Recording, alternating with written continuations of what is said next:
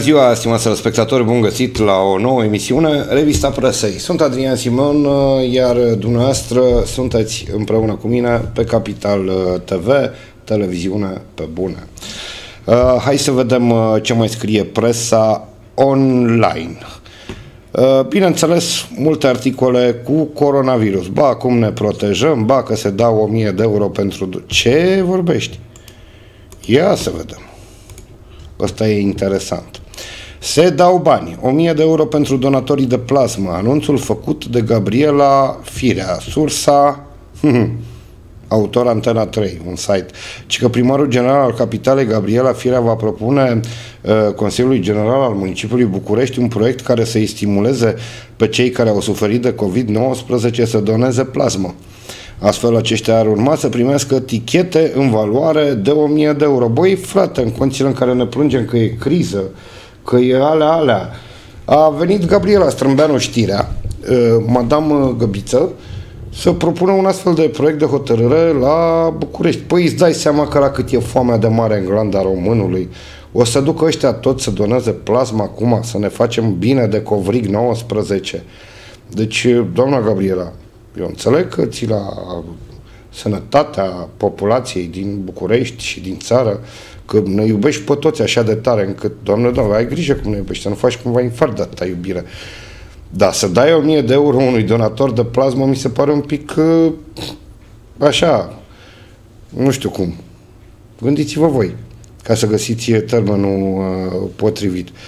Uh, ci că, tocmai pentru că cei aproape 30.000 de pacienți trecuți prin infecția SARS-CoV-2 ar putea să-i salveze pe cei care au forme mai dificile. Dar ce, avem Bucureștiul 30 de mii? Hmm? Știți ceva? Și proiectul este dedicat acestei nevoi stringente și a fost gândit împreună cu medicii de la administrația uh, spitalelor. Bă, mie, ce să zic, ar trebui să aplaud probabil că Asta se așteaptă Madame Gabriela. Deci faci un proiect de hotărâre de genul ăsta în care să zici că dai 1000 de euro, dar sursa de finanțare de unde? Că mă gândesc că îi dai dintr-un buget de undeva. Au fost bugetați banii ăștia până acum sau faceți rectificare bugetară. Știți exact câți donatori se vor prezenta sau alocați o anumită sumă. Da, asta e. Mergem mai uh, departe și că modificare majoră la WhatsApp, asta cu siguranță vă interesează, că sunteți toți uh, utilizatori WhatsApp. Uh, cine scrie? Capitalul. O modificare majoră ar urma să se producă pentru toți cei care folosesc aplicația de mesagerie WhatsApp. Uh, în acest moment, cei care folosesc serviciul de ținut uh, de Facebook o pot face doar de pe un singur dispozitiv. Uh, utilizatorii nu vor mai fi limitați în accesarea ei. Uh, Uh, are o disponibilitate limitată pe alte platforme decât smartphone-urile, spun, uh, spune articolul. Și ce? Probabil că vei putea să folosești aplicația de, mai multe, uh, de pe mai multe dispozitive în același timp. Știri pe surse ne vorbește despre jocurile din PSD. Uh, PSD e ținut cu spatele la zid, spun uh, cei de la știri pe surse, dar lucrurile ar putea să ia o turnură spectaculoasă. De patru luni de zile, PSD flutură moțiunea de cenzură peste capul Palatului uh, Victoria într-un joc de așoarecele și pisica, spun unii din partid, alții social-democrați sau alți social-democrați, că de fapt cred că așa era corect, deși aici e scris cu 2 de I, Fiind de părere, uite bă, și jurnaliști aiurea, nu mai știu să scrie nici ăștia ortografic, nu ortografic, gramatical. Fiind de părere că formațiunea face greșeli care vor costa scump partidul. Știri pe surse.ro vă prezintă culisele din Chiselef, așa, și zice așa, că jocurile politice au fost curcircuitate de izbunirea pandemiei de coronavirus, că s-a format în PSD un curent de opinie care vorbea despre partea plină a paharului, că socialdemocrații aveau să treacă ca fiind un partid responsabil care se rupe de trecut, uh, că în paralel în PSD a apărut să speculații că pe Sorin Grindeanu îl bate gândul să atace șefia partidului, că a început să crească numărul de noi cazuri de coronavirus, că e o problemă cât Everestul pentru PSD, că liderii centrali și-ar calcula, și-au calculat că în acest context al vârfului epidemiei, dacă dau jos guvernul, costurile de imagine pentru PSD vor fi catastrofale și mult mai mari decât pierderea unor primari racolați de liberali. Venim la guvernare când apare plăcuța suedeză pentru PNL. Ar fi declarat pentru știri pe surse un lider PSD. Adică când apare uh, UEPSD, nu? Sau ceva de genul ăsta, ceva cu, nu știu exact despre ce este vorba cu plăcuța asta uh, suedeză, dar cred că despre asta este uh, vorba. Să vedem. Ia uite. Pam, pam. Deputatul tot de PSD vorbim și tot de la știri pe surse, deputatul social-democrat Alfred Simonis, care este și președintele PSD Timiș, a făcut un apel la primarul în funcție și candidatul PNR la primăria Timișoara, respectiv Nicolae Robu, de a se retrage din cursa electorală, scutind astfel Timișoara de o dezonoare nemeritată, având în vedere trimiterea în judecată a dosarului caselor naționalizate în care Robu este inculpat. Domnule primar Nicolae Robu, am luat la cunoștință alături de o țară întreagă de trimiterea noastră în judecată de către DNA în dosarul castelor naționalizate. Vreau să fiu bine înțeles, punctul nostru de vedere îmi pare pertinent, personal vă consider nevinovat, păi și atunci de ce cer demisia Băina de la PSD dacă îl consider nevinovat? Și vă doresc, vă dă și el la plezneală, și vă doresc ca instanța să vă găsească nevinovat. Eh, foarte frumos din uh, partea ta eu zic să nu-i cer demisia lui Robu, că poate să supără asta și vine la tine în fața casei și stai și ție internetul și cablurile de pe uh, stâlp, cum a mai făcut uh, Robu prin Timișoara, că el e celebru pentru chestii de uh, genul ăsta. În altă ordine de idei, uh, fostul președinte al PDSR, Oliviu German, a încetat din viață la vârsta de 90 de ani, Dumnezeu să-l ierte, să-l odihnească, Uh, unul dintre urmașii acestuia, Adrian Năstase, fost lider al PSD, susține că Oliviu German a fost unul dintre oamenii politici de anvergură ai României și un om extrem de calculat.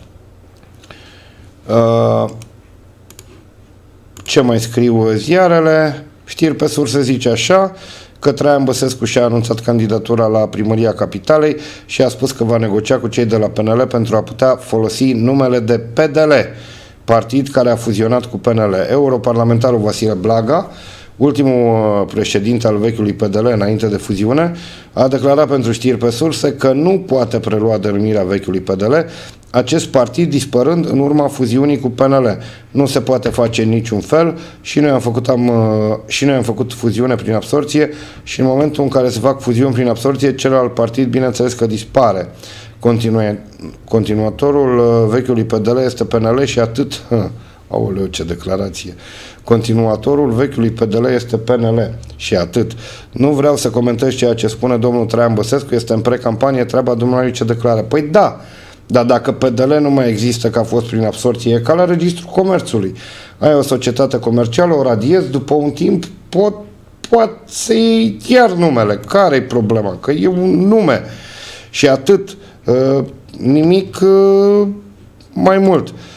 Institutul Național de Statistică uh, confirmă dezastru din pandemie. Câștigul, salariu, câștigul salarial mediu nominal brut a fost 5.369 de lei în luna iunie 2020, costă 81 de lei mai mare decât în luna mai 2020. Așa, ideea este următoarea, că salariile din hoteluri și restaurante sunt cele mai mici. Asta cred ei, ăștia de la INS, că numai salariile din hoteluri și restaurante sunt uh, cele mai mici. Cât timp mai avem? Mai avem? Aha. Uh, hai să vedem despre ce vorba aici. Mergem la presa locală. Presa locală, Hunedoara Liberă, ne povestește despre distrugerea de muniție din poligonul dealul Paiului, un cod galben de furtuni în județ, așa, Laurențiu Nistor, protocol de susținere, a, asta e interesant. Deci Laurențiu Nistor în Hunedoara Liberă are un comunicat de presă prin care PSD și Partidul Forța Națională au semnat un protocol de susținere reciprocă pentru alegerile locale care vor avea loc în data de 27 septembrie 2020. De asemenea, partidul, cine să știa mă, Forța Națională? Cine e partidul ăsta? Nu va avea candidați pentru funcția de primar în orașele Simeria și Hațeg și va susține candidații PSD, Iulius Bedea în orașul Simeria, respectiv Sorin Crai în orașul Hațeg. Da, dar cine e forța națională? Habar n-am. Bun, aici candidații, că va susține candidații PSD, Iulius Bedea în uh, orașul Simeria, eu îl știu pe domnul Bedea, ce mi se pare interesant e schimbarea lui uh, de macaz, de partid. Mi se pare că cu patru ani domnul Iulius Bedea a candidat de la PNL la Simeria, dacă uh, nu mă înșel. Și acum vine în chip de salvator al uh, Simeriei de la PSD. Repet, îl știu, e boia bun, n-am ce zice, n-am avut tangențe foarte mari cu domnia sa, dar să candideze cu patru ani de la un partid, după care să te duci la un alt partid, indiferent care el, mi se pare așa, puțin cam ciudat și o dorință din asta foarte mare de uh, a fi uh, a fi primar. E drept că domnul Bedea, din câte știu eu, uh, defilează cu proiecte europene. Da, o să studiem uh, foarte atent și acest uh, caz înainte de a ne pronunța dacă domnul are sau nu cu ce să defileze. În altă ordine de idei, tot Hunedoara Liberă ne anunță că Ioan Emanuel Clej este candidatul ALDE pentru primăria Deva, de altfel și în fotoliu cu ghim de astăzi este invitat Mircea Ioan Moloț, Uh, președintele al de Hunedoara, uh, care și-a anunțat și el candidatura pentru șefia Consiliului uh, Județean. Apar acum în ziare tot felul de chestii din astea de precampanie, că încă un candidat, încă unul și încă unul, lasă să fie, să avem de unde să alegem și uite așa o să iasă primar câte unul pe la comună cu 15%. Că nu, 15% cred că e prea puțin, cu 20% din voturi. Uh, că unde sunt vreo 6-7 candidați, e o comună, asta vreau să vă spun eu, ca să vă dați seama ce mare tâmpenie. Deci trăim în România și asta ne ocupă tot timpul. Uh, e o comună în județul Hunedoara, se numește Comuna Bătrâna, știu eu bine, da. Noi, comuna aia, nu știu dacă mai are 70, 80, 100 de locuitori câți are. Are 100 de locuitori. Până în 100 de locuitori. Uh, Uh, și acolo sunt candidați la primărie. Dar știți ce e interesant? Că în perioada asta se constituie birourile electorale de circumscripție. Biroul electoral de circumscripție se, se constituie doar uh, la comune și la orașe, se, se constituie doar uh, la alegerile locale. Acolo se depun Uh, dosarele cu candidaturi pentru consilierii locali, pentru primari și așa mai departe. E comuna bătrână, având 70-80 de locuitori, își face și ea uh, uh, birou electoral de circumscripție. Nu fiți atenți acum care e faza, de fapt. Toți membrii biroului electoral de circumscripție, asta ca să știe tot românul, iau undeva la vreo 5.000 de lei. Cam asta e suma, din câte știu eu. Mă rog, maxim cred că 5.000 de lei. Uh, pentru prestația pe care o fac ei. De ce? O pe care o fac ei. De ce? Pentru că se duc cu o lună înainte, da? Și stau și pe acolo, freacă piciorul de scaun în cazul în care nu există uh, candidați. Că sunt comune unde e un singur candidat, cu o singură listă de consilieri și atunci el stă ca bou acolo o lună de zile, nu numai unul, că toți de la toate partidele, inclusiv de la minorități, da, vreo opt cel puțin în uh, biroul ăsta de circunscripție, care stau, frate, o lună de zile săraci, freacă piciorul la masă, că poate mai este vreo masă, uh, sau să se încălzească, că poate în unele birouri o fi fric, deși șa vară, și după asta 8 oameni iau vreo 5.000 de lei, maxim 5.000 de lei. Deci 8 ori 5, vreo 400 de milioane, dați de exemplu, pentru birou electoral de circumscripție de la Comuna Bătrână, unde, repet, sunt 70 de oameni din care toți azi neamuri între ei și acolo câștigă ăla la primărie cu 20 de voturi. Mă doare mintea. Dar mă rog, ca la noi, la nimeni Uite, mai și tu să de revoltă. Uite așa se duc banii noștri. Printre altele. Aoleu, ce mă enervează chestia asta, fiți atenți aici. Servus Hunedoara ne povestește despre pachetele cu ajutoare alimentare de la UE. Uh, distribuită în DEVA începând din 12 august. Uh, ci că începând de miercuri 12 august la Deva va începe distribuirea către beneficiari de produse alimentare tranșa 1 pf, în cadrul programului operațional ajutorarea persoanelor defavorizate POAD 2018-2021 produsele alimentare se ridică personal de către beneficiari. Uh, așa, un pachet de produse alimentare are 25 de kilograme și conține, fie ce conține, făină albă, făină de mălai, paste făinoase, ulei, zahăr, orez, conservă de carne de vită, conservă de carne de porc, pateu de porc, compot de fructe, gem de fructe, gem de fructe dietetic, băi, frate. Beneficiarii sunt rugați să fie pregătiți cu sacoșe adecvate și însoțiți de aparținut. Băi, ce mă seacă chestia asta cu ajutoarele alimentare de la UE pentru persoanele defavorizate. Băi, țară de asistat social aș da cu pachetele astea de la UE de s-ar împrăștea, știi cum s-ar împrăștea? Și ar fugi conservele alea, uite așa una după alta și toți fraiericii după ele. Păi ce bă, chiar așa am ajuns, mă, să ne dea Europa câte o conservă de carne de vită, că n-are românul ce să mânce, să bage la foale. Câți din beneficiarii ăștia chiar au nevoie de conserva aia de carne de vită sau de pateul ăla lor ambalat cine știe când, un kil de zahăr, 3 lei, 25 de kilograme. O să-mi dați acum unii și o să spuneți, da, da, știți că sunt pensionari și persoane care au chiar neapărat nevoie de asta. De ce, bă? De o pungă de macaroane? Hai să fim serioși. Ăsta e ajutorul UE pentru noi. Macarale râd în soare argintii, globii și așa mai departe și conservă de carne de vită. Ce te uiți așa la mine? Mai am, am depășit timpul? Ah, bine. Bun. Ce mai citim de aici? Zi, ce vrei să știi? Cum? Nu vrei să știi la revedere, vrei să știi o știre siropoasă, nu? Nu mi-ai cerut o știre siropoasă ieri. Ești adeptul siropurilor. Ne-am dat dracu. Fii atent aici. cancan.ro Deci, despre ce vorbim? Uh, cancan.ro Moștenitoarele lui Gigi Becali au chefuit regulamentar în casa diavolului. Uălău, uălău, ia să vedem ce e aici.